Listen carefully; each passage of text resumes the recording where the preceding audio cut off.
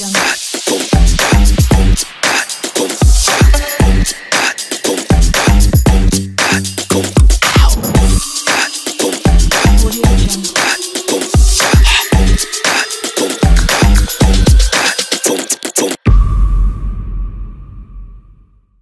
back. Uh, this is CKK TV here in Livingstone at Avani Resort, where ZIPS is hosting their 10th annual conference. And of course, uh, we just uh, spoke to Mr. Taonga Simonde uh, from Zambia Sugar, and now we are joined by Mr. Collins Kupapala. He is the procurement and inventory manager for Zambia Sugar. Sir, good afternoon. Good afternoon, and it's a pleasure to be here. Pleasure to meet you at this conference. Thank you so much. I must say, for me, this is a more of a familiar routine. Oh, yeah. I think I'm attending my 10th conference. so I was there when we had our very first. Wow. And here we are now. 10 years down the line. I must say it has been more than 10 years because I think a couple of years ago we couldn't hold it Okay. because of the COVID. Uh, but here we are. I'm attending it for the 10th time. Well, you are the founding members. Maybe you should be welcoming us instead. Yes, I must say so. Yeah. uh, founding members, not just uh, with regards to the conference, but to the ZIPS itself. Wow. Uh, I'll tell you, like my my ZIPS membership number is 000.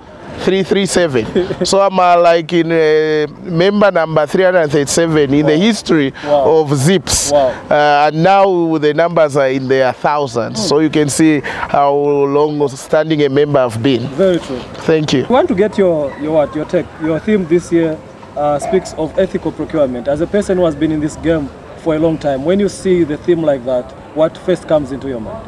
First of all, I must say this year's theme uh, is a beautiful one because it's not just capturing one thing. Yeah. It's a supply chain excellency through the prudent management of resources, value addition, and then the ethical procurement. So there are three things there. Yes. Uh, in procurement, we always strive to add value uh, because procurement is not just a paper pushing exercise, it's supposed to add value. There's talk of management of resources in a prudent manner. It's also our role to make sure these resources are managed prudently. Mm-hmm. Then there's also ethical.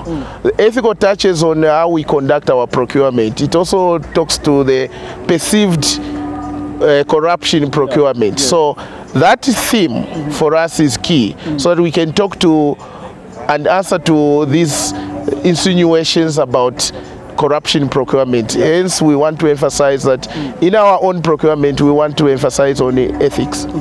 Yes. As a, as a man who is in charge, obviously, of resources at uh, Zambia Sugar, when you talk of, about you know prudent uh, management of resources, and obviously you heard the keynote speech by the minister on behalf of the president yesterday, did touch on the fact that there is corruption, not just perceived corruption, but he mentioned cited cases of procurement officers in different government institutions as well as private misbehaving.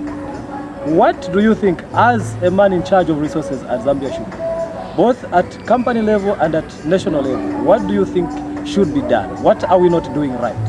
First of all, it's true, and I can agree that there are cases of genuine corruption in procurement. But procurement uh, in itself actually is not just uh, found in procurement. It's say cuts across many fields uh, in the industry or in the, in the country as it were. So in terms of uh, zips and uh, when you narrow down to what we are doing at Zambia Sugar, I'm in charge of procurement and inventory. So first of all, it's about the controls. What controls are in place in these procurement processes? It's about policies. What's the procurement policy? In the public sector, you talk about uh, being governed by the ZIPS Act. There's also being governed by the ZPPA, Zambia Public Procurement Authority, and the guidelines and procedures that are in there. It's these things that help to curb either perceived or actual procure, uh, procurement corruption.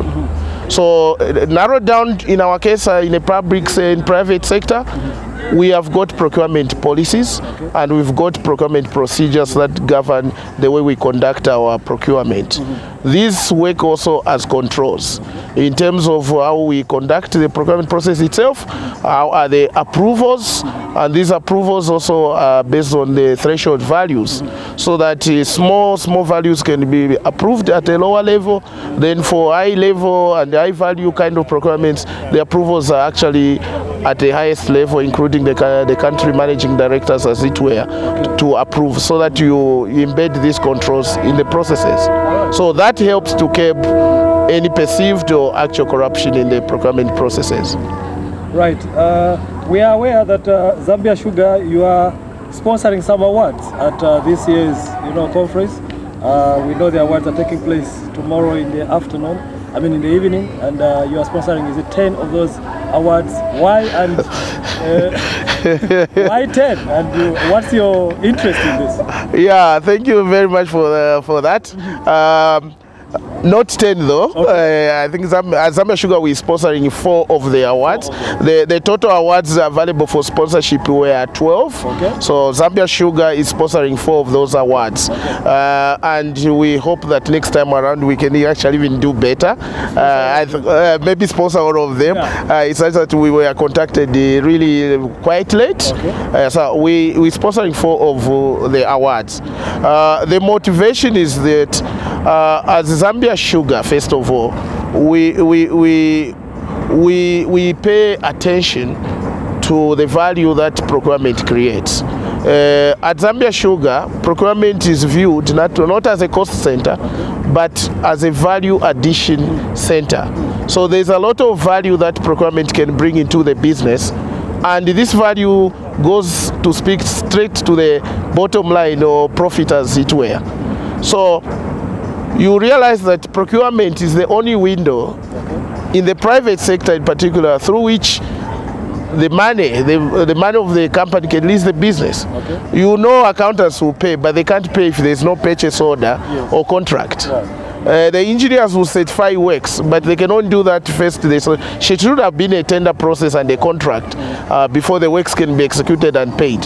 So, uh, real, realistically speaking, it's through procurement that money can actually leave the business. Yeah. Now, if you control this window properly, it can begin to add value to the business. It's now a strategic resource Yes. that uh, adds value to the business in terms of the uh, speaking directly to the profit. Okay. Yes. So in terms of this conference and you sponsoring those awards, how does it in any way enhance what you do at Zambia Sugar? Uh, first of all, it speaks to the fact that we value Okay. uh, the role of procurement Okay. and would want to promote. Oh, yeah. Uh, you see, that theme uh, for, for the ZIPS conference also speaks to, to the principles that we believe in at Zambia Sugar. Yeah. So it's from that background that we are motivated to, to begin to be associated. Mm. So we are proud to be associated with this sponsorship Wow. because we value procurement or supply chain as it were. Great. Are you likely to win an award tomorrow? Uh, no, because we didn't enter Ah, okay. uh, the competition. Right. Uh, next time around, next year, we're hoping to enter Okay. the race. Uh-huh. Uh, in particular, uh, in the use of innovation and technology, Right. we use uh, quite a lot of that at Zambia Sugar. Oh, Uh, I'm very sure that if we, we have ent- we would have entered, would have won one, have that won. one. Uh, we could also uh, be in a strong running uh, in the award for uh, most uh, best performing uh, procurement or supply chain uh, private sector. I love Uh, that. that we can. Uh, I'm pretty sure. so look out for us next year. We will definitely look out. Uh, yes. Our first at uh, you know at CKK at uh, the Zips you know conference, and uh, we are definitely coming back uh, next year. That was Mr. Collins Kupapaala, the procurement and inventory manager at Zambia Sugar, where they believe in spending better and buying better. So this is Kim, and uh, we are still giving you updates of what's taking place here at the Zips 20, uh, 2022 uh, conference in Livingstone. Stay tuned. We'll be giving you more.